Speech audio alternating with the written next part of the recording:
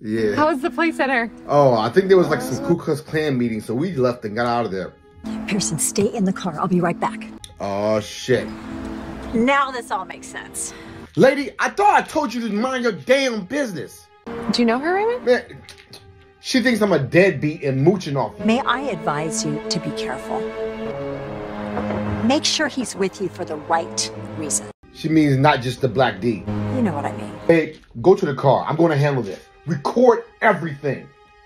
Now listen here, you Michael Jackson looking bitch. You got one more time to say something about my family. Now, You lost your source of income, bitch, right? why are you so worried about how much money I make? It's the truth. It's far from the truth. What are you gonna do? Attack me? Yeah, I'm gonna slap the wrinkles off your face. You lift one finger and I'm calling the police. Call the cops, ho. Unless you want to go to prison, which I'm sure you've already been. Back off. Sorry I'm late. I had some work to wrap up at the office. John? Ray! You two know each other? Do we know each other? Raymond's my boss. He's the Oh. president of the construction company I work at. How is that possible? Yeah, John, how is this possible? Black men don't have a job or own a construction company. Black men don't take care of their families and take care of their kids. And black guys don't buy their wives a Porsche for their birthday. As a birthday present? Yeah, that doesn't happen, right, Karen?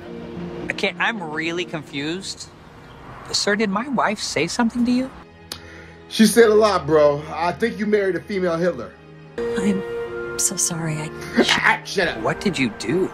Bro, she did everything that your people did to us for the past 500 years, besides take my spirit. But I'm gonna go, bro. I really hope this doesn't affect my employment in any way. Yeah, you still got a job, but you gotta divorce her first. I'm rich, bitch.